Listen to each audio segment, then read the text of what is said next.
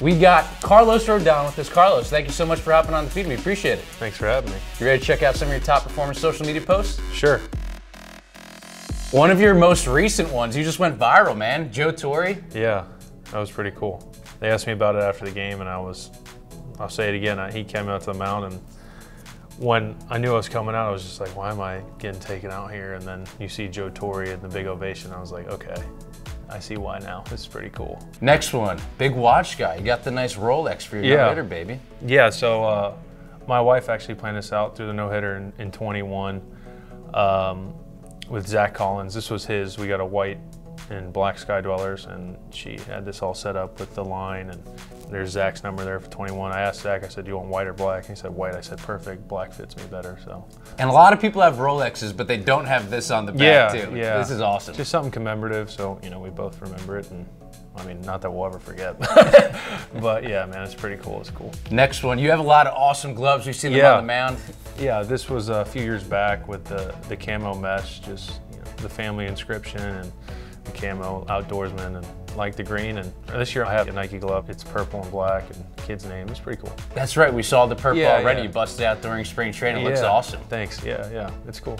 This is a cool picture. Is this hanging out up in your uh, home? That's in the gym, a gym back home in our barn. We just had like a big gym we made and an area where I could throw. And we had, my wife had this guy come out and paint these murals and he knew I was, you know, a big Joker fan and, and this is what he did. And I had to take a picture of it. I was like, this is pretty amazing. And so that, that's still, that's on the wall. It's kind of like spray painted and painted on the wall. He does some really cool stuff. Dude, it looks sick. Yeah.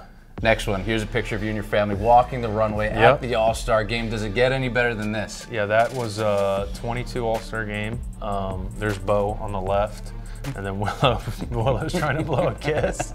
Um, everyone looks better than me, obviously. Uh, Ashley looking stunning as always, and Willow complimenting with her white flowers. Um, yeah, it was fun, man. The All-Star game is always a treat. And now we have a third one. He wasn't born then, but uh, wasn't long after that that we have we have Cy now. So now we have three kids. So hopefully. Cy, that's a cool name. Yeah, Silo. So Silo's his name. I call him Cy. I said I'm not calling him Silo. Cy. So S I L O. Yeah. So is this picture hanging up in your house also, or is uh, because there's a third kid now in the picture, this one's uh, tucked away? We have a lot of, actually, a lot of. When you walk in our house in Indiana, uh, a lot of the pictures are just Willow. So we haven't even cycled Bo in yet. Bo will walk up to some of the pictures. That's me, and it's Willow as a baby. It's like, yeah, it's you, Bo. It's you.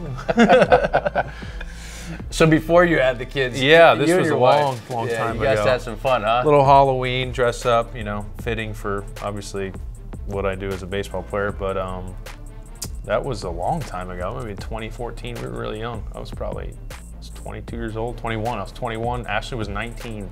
Wow. A long time ago. Yeah. This is a big time throwback. then, 10 huh? years, yeah, We might have to years see it again. Ah, I don't think I don't dress up much more. Actually, I do dress up. You do. Different, different, more kid friendly. Kid friendly. That's right, Mr. Flintstone. Yeah, That Mr. was the caption. Call me Mr. Flintstone. Yeah, we throw a Halloween, uh, kind of like a trunk or treat at our house. Um, obviously, end of October, right around the 29th, that, that weekend there. Uh, we have a bunch of people from town come out, family, uh, a bunch of cars parked in the driveway, and a bunch of kids. I mean, an outrageous amount of kids. We do inflatables. It's a, it's a fun, we've done it four or five years now. It's a fun little shindig we do.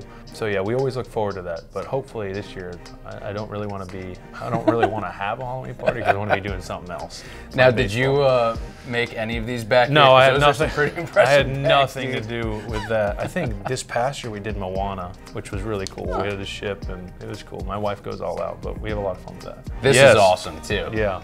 So yeah, I grew up. You know, I grew up in Raleigh, North Carolina. Saw the Hurricanes win a few Stanley Cups, um, and I got to you know blow the horn there. You know, get the horn going, start the, the game off. I thought that was really cool. Um, I don't remember what that when that was. It was a few years back, but that was that was a fun experience. Yeah, we got to get you out to MSG and uh, maybe Yeah. a little puck drop or something. Oh, how about that one? Dude, check out this throwback though. And you even got the cool Angels jersey too, man. Yeah, that's the throwback Angels jersey. That was uh, I don't know how old I was. there, probably four, three. I'm a little, little tiny little thing. Um, that's when I used to be able to swing it. Now it hurts to swing a bat, so I don't do that much anymore. Uh, glad pitchers don't hit. Um, yeah, that was back in. That's actually in Miami. So uh, I moved from Miami when I was eight years old, but you know started playing baseball down there, and that's. I mean, I played baseball all year round. in Good weather. I mean, that's all I did was play baseball when I was that age. So We see all these social media posts. You obviously love to have a good time, whether it's with your family, uh, dressing up, everything Yeah. along those lines. What would you say is your favorite part about social media and showing that stuff?